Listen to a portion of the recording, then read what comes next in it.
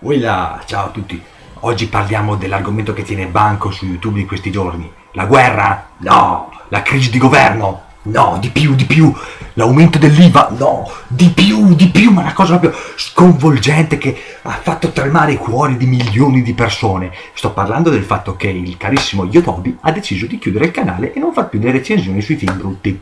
Bene, allora, siete di cotte e di crude su questa cosa.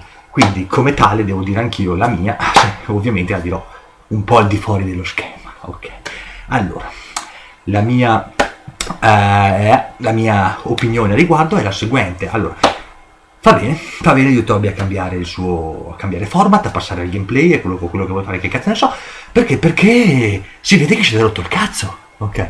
Poi si vedeva un po' anche nei video che faceva recentemente che erano abbastanza tirati, non erano più genuini. Dopo un po' un vero signore, che lui è stato un vero signore, sapete perché? Perché a differenza degli altri piscioni che chiudono il canale o cambiano format o cambiano cose senza dire un cazzo a nessuno senza avere rispetto per nessuno, andando poi a cercare la, il, la preghieria di chi li segue di continuare, l'ha detto direttamente in un live, ha detto io cambierò questa cosa perché, come ho interpretato io, mi sono rotto il cazzo. Insomma, come dicevo, è normale. Non era più genuino come persona.